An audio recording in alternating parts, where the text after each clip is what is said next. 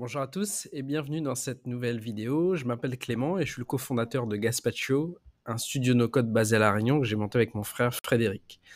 Dans cette vidéo, on va vous parler de comment et pourquoi passer de Airtable à Xano.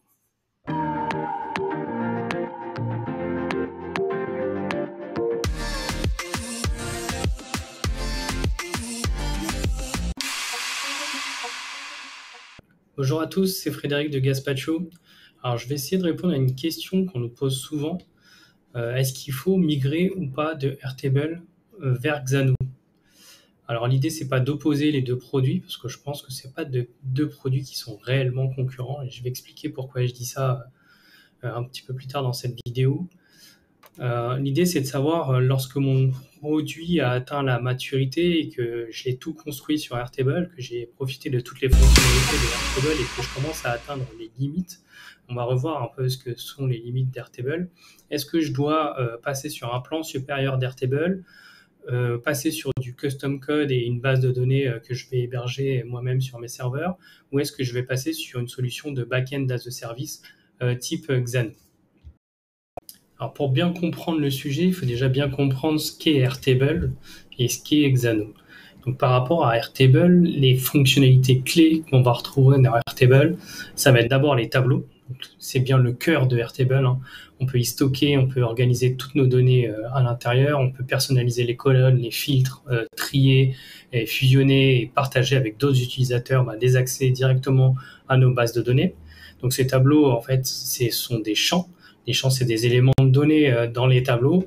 On peut y agiter des, types de champs texte, euh, du nom, des nombres, euh, des dates, des types de sélection, donc des, multiples valeurs. On peut lier des tableaux entre eux, donc des tables typiquement, et on peut faire énormément de choses avec les champs qui sont qui sont dans Airtable. Il y a les formulaires. Donc les formulaires, c'est ce qui permet de collecter des données qu'on va stocker dans les tableaux. Donc c'est des, on va collecter des données auprès des personnes extérieures à notre organisation et on va leur fournir un lien pour remplir un formulaire personnalisé. Donc ça, c'est hyper puissant. Ça permet de capter de la donnée utilisateur assez rapidement et assez facilement et la stocker euh, bah, dans nos tableaux euh, Airtable. Ensuite, une fois qu'on a toutes ces données, on peut les exploiter et pour les exploiter, euh, Airtable a une fonctionnalité qui est vraiment top, qui s'appelle les vues. Donc les vues, euh, ça permet de visualiser les données de différentes façons, en utilisant des filtres, des regroupements et des tris. Et vous pouvez créer des vues pour chaque besoin spécifique euh, de votre application ou de votre équipe. ça, ça permet réellement de focuser sur un ensemble de données et de l'exploiter de la meilleure des façons possibles. Il y a le lien entre les tables. Donc, les liens entre les tables, ça permet de créer des relations entre différentes tables, ce que je disais tout à l'heure, ce qui permet aussi d'afficher des données de manière plus efficace et de les organiser de manière plus logique. Donc, typiquement, c'est ce qui va nous permettre de faire euh, ce qu'on appelle normalement en, en développement traditionnel et en et en administration de base de données, donc une base de données relationnelle, c'est-à-dire des tables qui font référence à d'autres tables et qui nous permettent euh, de prendre des décisions ou de faire des calculs ou de créer des nouvelles données. Donc c'est la fameuse agrégation ou composition de données à partir de plusieurs informations euh, de différentes tables. J'en crée une nouvelle. Si on devait conclure rapidement, Airtable, c'est une plateforme de gestion de bases de données et de projets hyper complète, facile à utiliser, avec de nombreuses fonctionnalités vous pouvez organiser et gérer toutes vos données et vos projets en un seul endroit. Alors l'idée, c'est pas uniquement de capter de la donnée euh, en provenance des utilisateurs, c'est aussi euh, de pouvoir l'exploiter et l'utiliser ben, dans un certain nombre d'automatisations et de fonctionnements liés aux produits qu'on essaye de, développer. Donc euh, c'est là qu'intervient la fonctionnalité d'automatisation d'Airtable, donc les automations, qui permettent en fonction d'un certain nombre de déclencheurs de réaliser un certain nombre d'actions. Et euh, c'est là où on commence à complexifier un peu les traitements qui sont dans Airtable et on commence à avoir un produit qui va être très utile et qui va nous permettre de répondre à un certain besoin. Une fois qu'on a euh, stocké ces données, qu'on commence à les exploiter au travers des formules et qu'on commence à créer des nouvelles données, qu'on commence à rajouter des règles de gestion et des automatisations au travers des différents événements qui sont déclenchés euh, par Airtable ou par des produits qui sont connectés à Airtable, ce qu'on va vouloir faire naturellement, c'est connecter une interface à toutes ces données et présenter à un utilisateur un produit qui va résumer bah, tout ce qu'on a pu capter et créer de la valeur dans notre logiciel. Donc l'idée, c'est de faire vraiment des applications qui sont dynamiques et qui s'adaptent en fait au contexte de l'utilisateur. Alors la fonctionnalité des interfaces qui est proposée par Airtable, elle est super. Elle te permet vraiment de commencer à présenter tes données de façon euh, organisée, hiérarchisée et euh, résumée. Euh, mais tu vas vite te retrouver bloqué dès que tu vas vouloir faire du design qui correspond réellement à ta charte graphique, à l'ergonomie que tu souhaites proposer à l'utilisateur, à l'expérience qui correspond à ton produit. Et euh, tu vas vouloir aller dans des fonctionnalités qui sont un peu avancées et ça va vite devenir un casse-tête de savoir comment euh, faire ça directement dans les interfaces et dans le module interface qui est proposé par Airtable. Si tu couples ça au fait que euh, tu peux vite atteindre en fait les limites d'Airtable, donc à savoir les 10 000 enregistrements au niveau du nombre de lignes que tu peux avoir dans ta base de données ou les 50 000 en fonction du plan que tu as.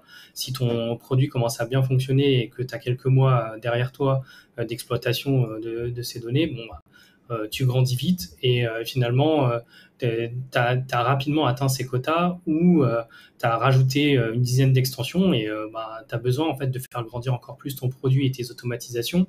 Tu commences à y voir plus clair dans ce que tu voudrais faire et tu en as rajouté un peu partout, hein, des formules, des automatisations et finalement, ça devient une espèce de grand brouillon un peu désorganisé et tu ne sais plus vraiment où tu en es dans Airtable. Alors pour pallier à ça, effectivement, euh, naturellement, ce que tu vas essayer de faire, c'est connecter autre chose à Airtable, donc un autre produit qui va te permettre de faire ta fameuse interface et ta fameuse intelligence. Donc pour ça, tu vas utiliser les API d'Airtable qui te permettent bah, d'accéder à toutes ces données euh, depuis un système tierce, donc quelque chose d'extérieur. Mais Airtable ne te pousse pas vraiment à faire ça parce que euh, tu vas avoir une limite en termes de d'appels par seconde. Donc euh, de sollicitation de ton produit et de consommation de tes données. Euh, Airtable euh, a en plus rajouté des restrictions au, travers de la gestion de ces API. ça commence à se complexifier sérieusement quand tu veux utiliser un autre produit qui est un produit publié par Airtable. Et tu te poses vraiment la question de est-ce que je dois continuer à construire la suite de mon logiciel sur Airtable? Et là, tu te retrouves face à un choix qui est clairement pas anodin, parce que là, tu vas poser toutes les bases de la vie future de ton produit hein, pour les 3 à 5 prochaines années. Et euh, l'idée, c'est euh, de repartir sur de bonnes bases. Donc la première chose que tu pourrais faire, c'est de faire appel à un expert Airtable. Il y en a beaucoup euh, sur le marché et pas mal en France qui peuvent t'aider à regarder en fait ce que tu as déjà fait au niveau de tes formules, au niveau du schéma de ta base de données, des différents champs que tu as utilisés, au niveau des différentes automations que tu as utilisées. Est-ce que tu as été dans la rationalisation? Est-ce que tu as fait exactement comme il faudrait faire? Et donc c'est bien aussi de regarder son produit, de s'arrêter et d'essayer de faire du rework sur ce qui a déjà été fait. Mais ça peut être une charge qui est non négligeable. Alors, si tu en es là, c'est que tu as commencé à regarder Xano et en fait, tu essaies de comprendre si c'est un produit qui va pouvoir répondre à ton besoin. Donc, pour pouvoir euh, répondre à cette question, ce qu'il faut regarder, c'est les grandes fonctionnalités de Xano. Les grandes fonctionnalités de Xano, c'est une base de données, ça c'est sûr. Euh, donc tu vas pouvoir stocker tes données en format SQL ou NoSQL, donc avoir un schéma de base de données relationnel ou un, schéma de base de données dit à plat. Donc ça va te permettre de vraiment t'adapter par rapport aux besoins de ton application. Tu vas avoir une couche euh, API et microservices qui va te permettre en fait d'exposer ces données euh, plus facilement et rajouter de l'intelligence dans le traitement de tes données tout ça en low code ou en, no code, donc de façon assez facile. Et euh, l'avantage aussi d'avoir Xano, c'est que tu vas pouvoir euh, y intégrer un peu tout ce que tu veux en termes de produits externes et sans avoir à, de limites par rapport aux, différents traitements que tu vas pouvoir rajouter. Ce qu'il faut bien comprendre, c'est que Xano a été créé pour ça. C'est un vrai back-end de service qui a été fait pour stocker des données, rajouter des traitements, et te permettre d'exploiter au maximum en fait toute l'intelligence que tu vas pouvoir euh, implémenter euh, dans le backend as a service et connecter l'interface de ton choix, c'est-à-dire vraiment avoir une architecture découplée entre ton interface et tes données et ton intelligence et pouvoir proposer bah, une expérience mobile avec du développement natif réalisé avec Flutterflow ou du développement web réactif avec quelque chose comme WeWeb qui va te proposer une expérience sur un navigateur ou une expérience sur mobile qui va être adaptée. Et ça sera à toi de choisir ce qui correspondra le mieux à l'expérience utilisateur que tu veux proposer, et notamment au niveau de l'ergonomie et du design. Ce qui est hyper intéressant avec Zanos, c'est que c'est toi qui vas choisir finalement les données que tu vas vouloir, que tu vas pouvoir exposer directement dans ton produit et assez facilement finalement rajouter des points d'accès euh, à ces données et euh, les mettre à disposition de, tes de tes utilisateurs au travers de tes produits assez facilement. Donc là, si, si on veut récupérer, bah, par exemple, tous les produits qui sont dans la base euh, rapidement, voilà, j'ai créé un point qui permet de faire ça. Et en deux secondes, bah, j'ai tous mes produits qui sont, qui sont exposés et, je, vais pouvoir finalement connecter l'interface de mon choix. Alors, ce qui est bien, c'est que Xanos, c'est un vrai back-end as a service, donc il va proposer en fait des fonctionnalités qui vont permettre de monitorer l'utilisation des API et euh, de euh, comptabiliser et de présenter sous forme de rapport directement euh, bah, la consommation de, mes données. Donc là, je vais voir ce qu'il y a dans ma base de données. Je vais voir les appels qui ont été réalisés sur l'API. Donc là, on vient de voir les, le get fourniture que je viens de faire. Et je vais avoir en fait du détail sur euh, les appels qui ont été réalisés, euh, si c'est des appels qui ont été OK ou KO, si j'ai eu des erreurs, les, types de données qui ont été demandés. Donc là, je vois qu'en entrée, j'avais rien et qu'en sortie, j'ai renvoyé un certain nombre d'informations directement à, aux interfaces qui ont appelé ce service.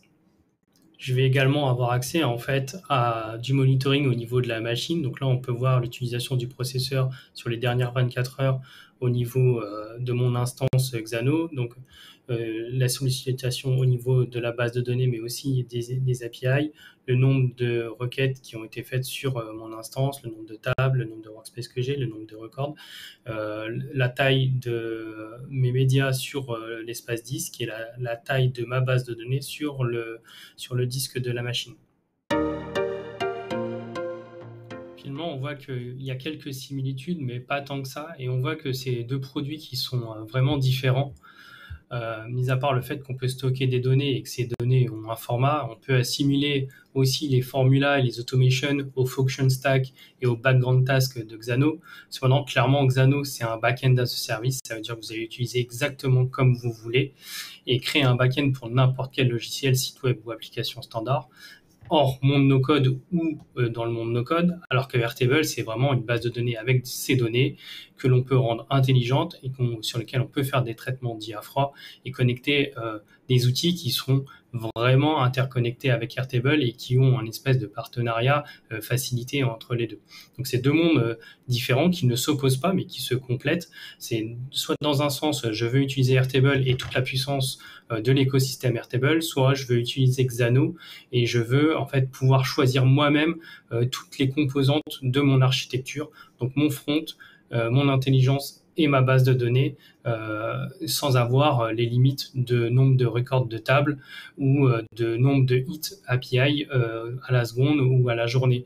Et ça pour un tarif qui restera finalement le même, peu importe la volumétrie d'utilisation de mon logiciel. Alors clairement, ça ne veut pas dire que Airtable ne permet pas de faire tout ce que je viens de dire sur Xano. Hein. On, va pouvoir finalement jongler avec les fonctionnalités d'Airtable, les données, les automations, les formulas pour essayer d'arriver en fait à, un résultat euh, que l'on souhaite au plus proche euh, de ce qu'on veut offrir à nos utilisateurs. Mais on va vite se retrouver euh, finalement à se poser la question des quotas, se poser la question du nombre de hits par seconde, à devoir jongler au niveau bah, de la licence, enfin du plan que l'on paye auprès d'Airtable pour essayer de rester au maximum dans les clous. Et on va se, vite se retrouver à totalement s'adapter à l'outil plutôt que finalement adapter l'outil à ce qu'on voudrait faire. Alors, est-ce qu'il faut migrer de Airtable vers Xano? Eh bien, ça dépend. Pour le coup, ça dépend vraiment de euh, la maturité finalement de votre produit. Ça dépend de, du futur, euh, de ce que vous prévoyez en fait dans l'évolution euh, de votre architecture, de votre infrastructure et des fonctionnalités que vous allez offrir à vos utilisateurs. Si vous arrivez à rester dans les quotas euh, proposé par Airtable, si vous arrivez à jongler avec euh, les fonctionnalités qui sont déjà dans Airtable et que finalement votre produit va rester le même encore pendant plusieurs années, ça sert à rien de migrer vers Xano juste pour dire voilà j'ai migré vers Xano. Mais par contre, si vous êtes en train de vous dire que votre produit va changer, il va passer dans une, une nouvelle étape de sa vie et qui va se développer, vous avez tout intérêt à essayer de sélectionner une nouvelle solution qui va vous permettre de faire évoluer ce que vous avez aujourd'hui, euh, de faire une migration de vos données et de créer des nouveaux traitements qui seront plus souples, plus adaptables et qui seront plus adaptés au futur de votre application.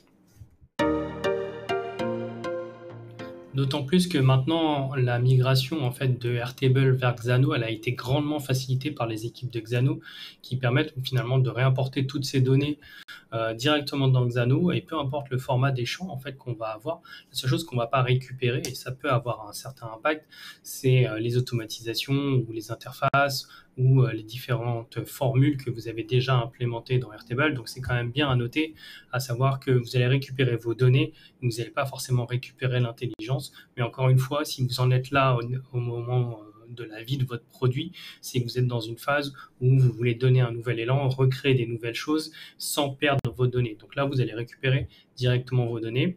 Donc il suffit de récupérer sa clé euh, au niveau de son compte là dans Airtable, de la copier, alors, je vais me rendre dans Xano, je vais devoir créer un nouveau workspace. Donc, c'est à partir d'ici que je vais faire le lien entre mon Xano et mon Airtable. Alors, bien sûr, ça va être un lien qui va se faire qu'une seule fois. les données ne seront pas synchronisées entre Xano. Donc, on va dire que je vais créer mon nouveau workspace et qui va s'appeler Product Catalog, que je vais y connecter WeWeb et je vais choisir d'importer des données qui viennent d'un autre service, donc Airtable. Donc là, j'ai la possibilité de créer de zéro, d'avoir du Airtable, d'importer des données CSV ou de prendre des données qui viennent d'une autre API. Donc là, on est dans le cas de Airtable. Et euh, bah, je vais suivre tout simplement le tutoriel. Alors, je vais masquer ça pour que vous ne voyez pas ma clé API. Là, je l'ai juste collé depuis Airtable. Et là, j'arrive sur un écran qui me propose de choisir la base de données qui correspond à ce que au nouveau à mon produit. Donc là, mon produit s'appelait Product Catalog je clique dessus, il va me retrouver donc finalement tous mes tableaux, alors les tables au sens Airtable, ensuite toutes mes vues. Je peux choisir d'importer uniquement une vue, mais bon là moi je vais vouloir récupérer toutes mes données et on peut aussi euh, récupérer euh, toutes les pièces jointes. Donc ça c'est top, ça me permet de préserver les liens euh, qui étaient dans Airtable. Donc on va dire que je vais garder tous les types de données je ne vais pas créer tout de suite de connexion avec des nouvelles fonctionnalités. Hein. Je pourrais ici connecter directement mon Slack mes SMS pour euh, faire mes automatisations si j'en avais déjà, mon, euh, connecter mon système de paiement ou mon Google Recaptcha. Donc là, pour le moment, je vais passer cette étape.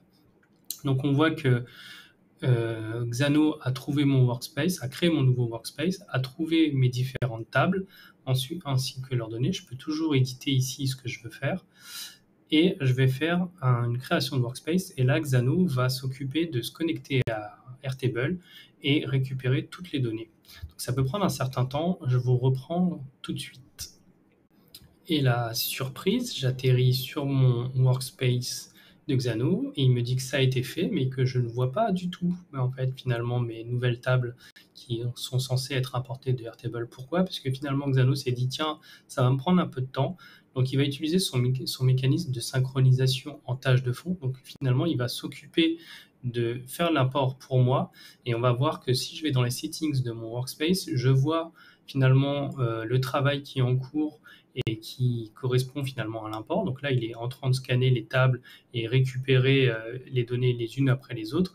Donc c'est Xano qui finalement s'occupe de bypasser toutes les contraintes qui pourraient être mises euh, par Airtable, à savoir le nombre d'appels par seconde, euh, les nombres de volumétrie de données qui, qui, transitent. Et finalement, il va faire tout ça en tâche de fond.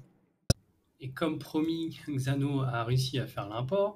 Donc euh, il, voit, il me fait un petit message pour me dire que mon import est complet et que j'ai juste à rafraîchir mon navigateur pour récupérer les nouvelles données. Donc là, je suis toujours en pending. Donc si je rafraîchis,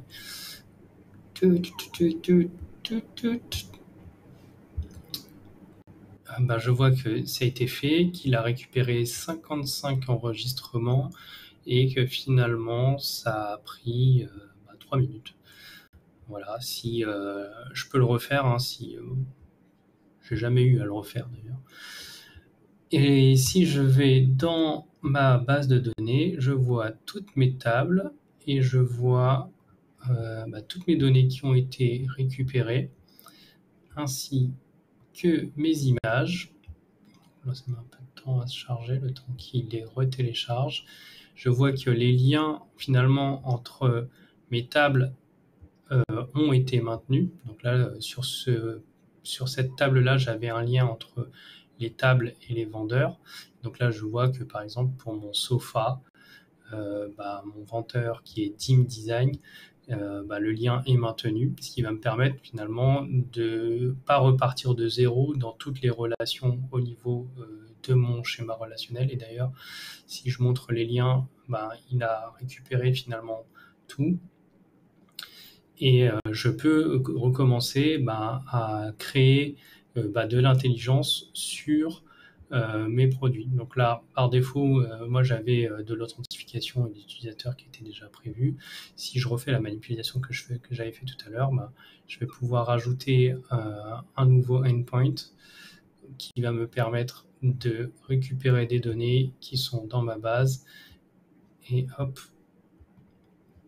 je vais pouvoir requêter et je vois bah, tous mes produits qui sont maintenant Xano est à disposition bah, de ma feature interface que je vais euh, développer euh, et qui va appeler euh, finalement ces nouveaux endpoints et me permettre de scaler mon application.